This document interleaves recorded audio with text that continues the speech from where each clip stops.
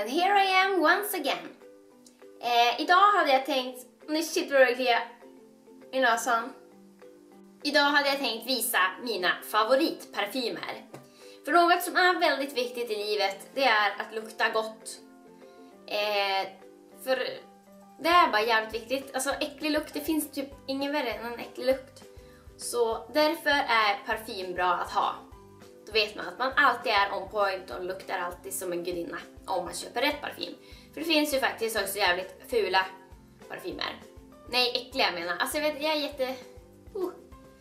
Men i alla fall, först måste jag bara säga en grej.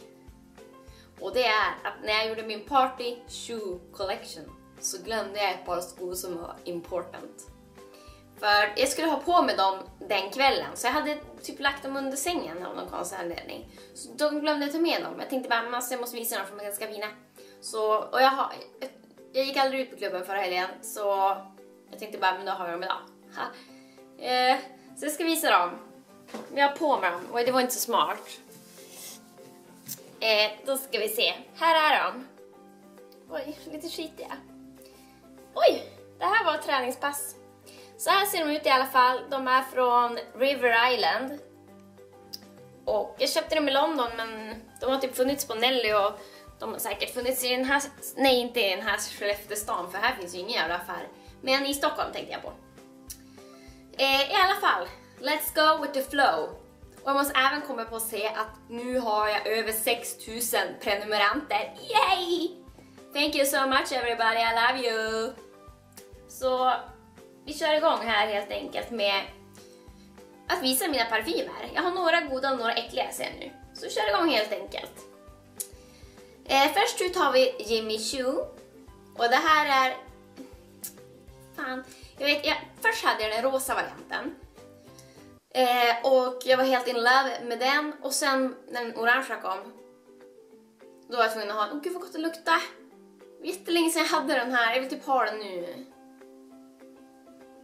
Men den här heter alltså Jimmy Choo Exotic och den här den heter typ något mer och så är den orangea, en, Det var limited edition så jag vet inte om de går att få tag på längre men förmodligen. I alla fall den luktar så jävla gott alltså. Jag vet inte hur jag ska förklara den här, verkligen inte för jag har aldrig haft något som luktar något liknande.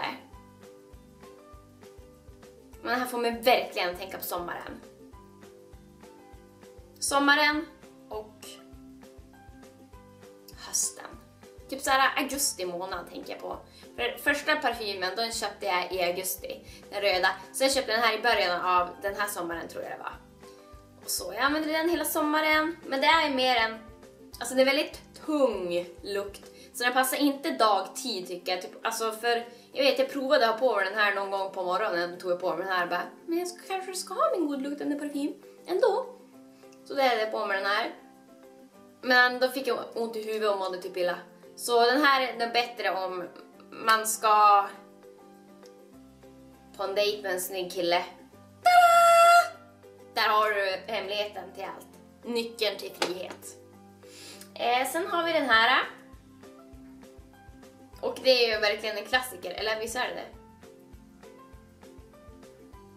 Britney Spears är det i alla fall. Britney Spears hon kan inte mycket men jag tycker ändå hon är bra på parfymer. Sen det här med att hon rakar skallen och sådär, liksom whatever, hon gör ändå goda parfymer. Och så var hon ju faktiskt, en gång i tiden var hon ju en duktig artist. Men, ja, jag vet inte, den här är typ väldigt söt. Vä alltså väldigt. Sån här kan man också börja må illa av. Men...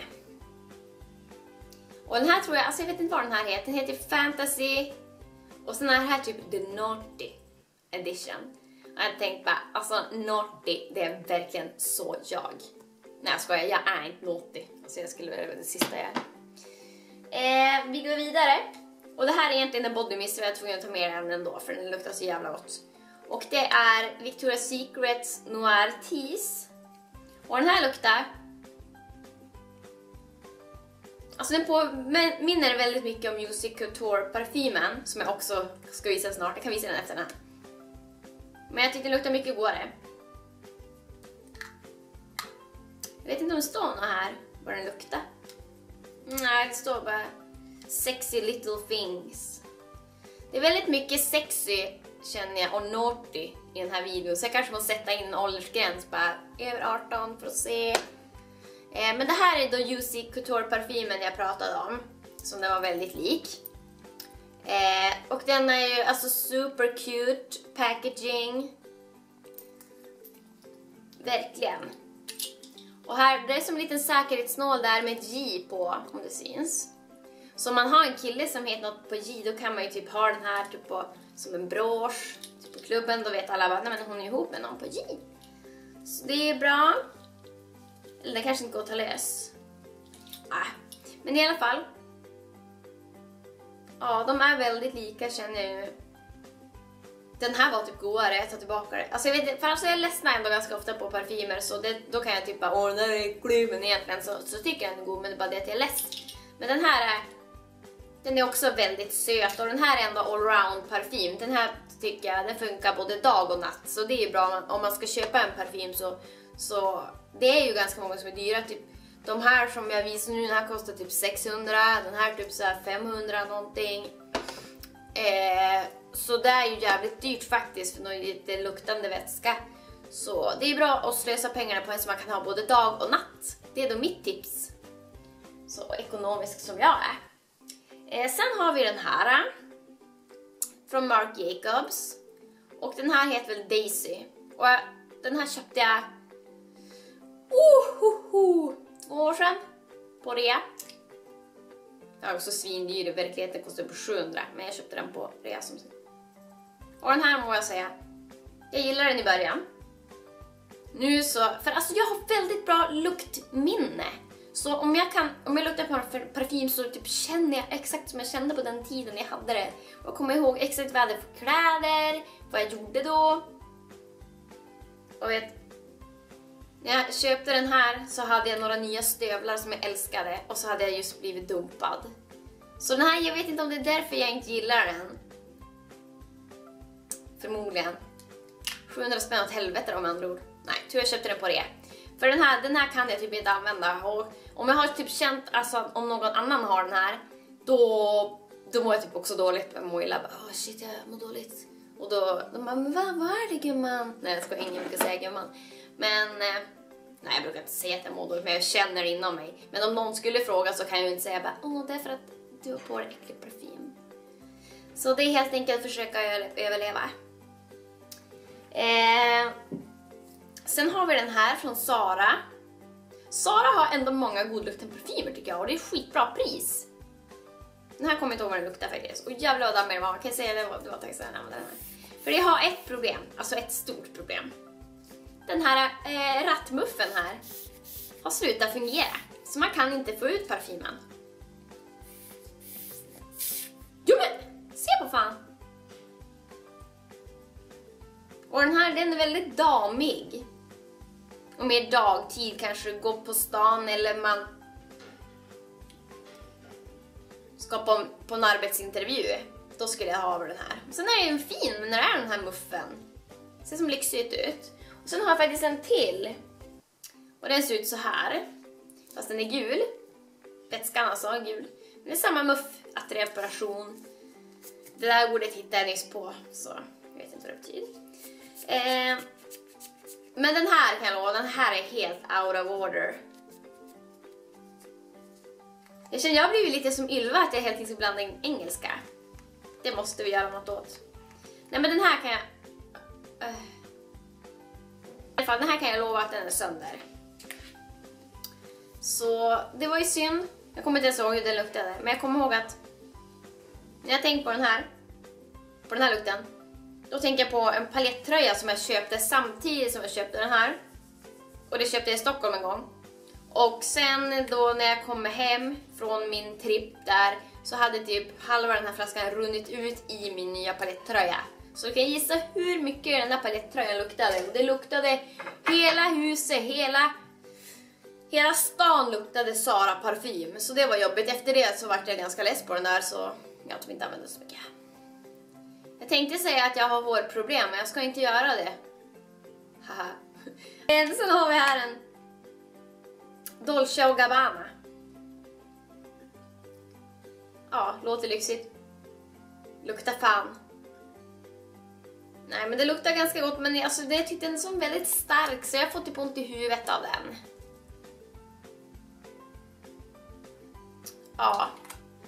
Nej det är ingen favorit måste jag säga. Eh, sen har vi den här, det är också Juicy Couture fast eh, guldversionen, guldedition och den tycker jag luktar så jävla mycket godare.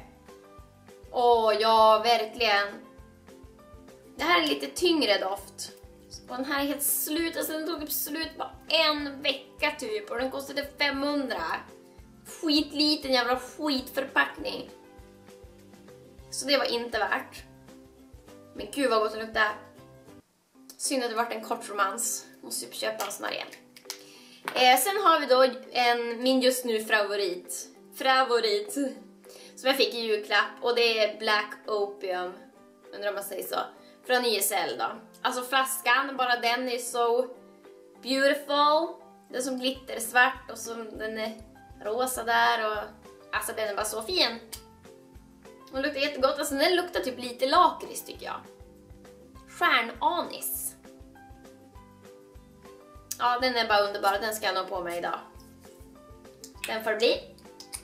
Eh, sen ska vi se. Sen har jag den här lilla mini mini som typ är slut. Och det är Victoria's Secret Midnight Exotics. Och den här hade jag på en stor splash också så jag överdoserade så jag är lite less på den här. Nu känner jag typ bara den andra parfymen. Men den här... Ja, det är som... Alltså det är forbidden... Nej, jo det skulle vara det. Jag trodde det var det. Det här är egentligen min syrra så jag tänkte låna den.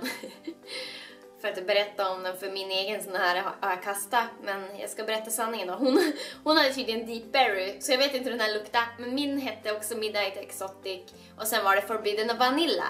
Och det är Forbidden Vanilla som jag älskar och som jag hade. Och den luktade då helt enkelt förbjuden vanilj som man har på namnet. Och det var verkligen sommaren. Den här sommaren så hade jag den hela tiden. Jag kommer ihåg att jag köpte den en gång på frisören för de säljer ibland sån splash på frisören. Så jag köpte den där av någon konstig anledning. Jag gick in och så bara YOLO! Och så köpte jag den. Och sen, det var en jättevarm sommardag. Jag saknar sommar så jävla mycket. Så hoppas det blir sommar snart igen. Då, ska, då kanske jag ska köpa en sån igen för att fira. Men just nu så ska jag inte göra det. Eh, sen har vi faktiskt en till splash här. Och det här är Victoria's Secret Night. Så den här får man bara ha på natten. Man kan inte ha den annars. Och den här är väldigt... Man, man känner verkligen att varför, man fattar varför den heter Night.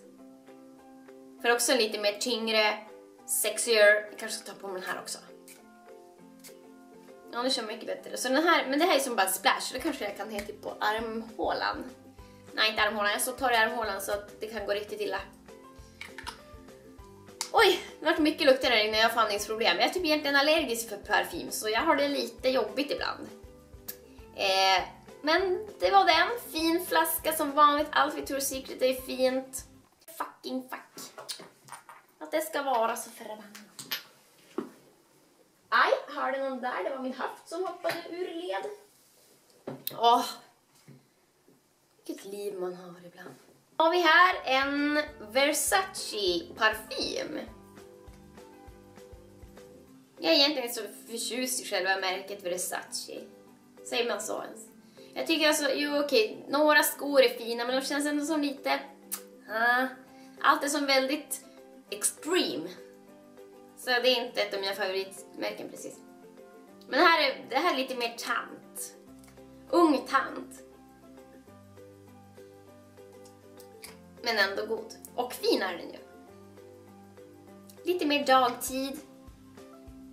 Ja, det är det jag har att säga om den. Eh, sen har vi den här som jag köpte nu på mellandagsrean. Ska se, så här ser den ut. Och den visar jag när jag hade köpt den. Och det här är från, det är för att jag har förpackningen där.